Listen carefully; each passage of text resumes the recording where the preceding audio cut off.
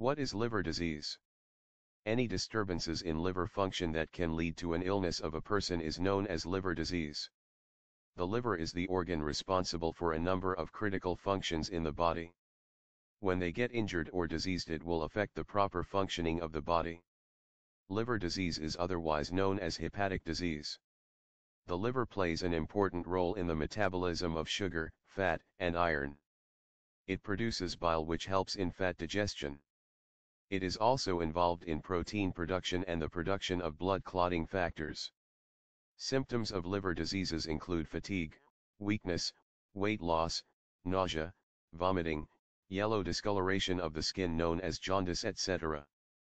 It requires more than 75% of the liver tissues to be damaged to affect the function of the liver. The liver can easily regenerate the damaged cells but if more than 75% of the cells are lost, it may not be able to meet the needs of the body. Some liver problems can be treated with home remedies. Some may require medication and liver failure may require liver transplant. Subscribe us to know more health tips and home remedies.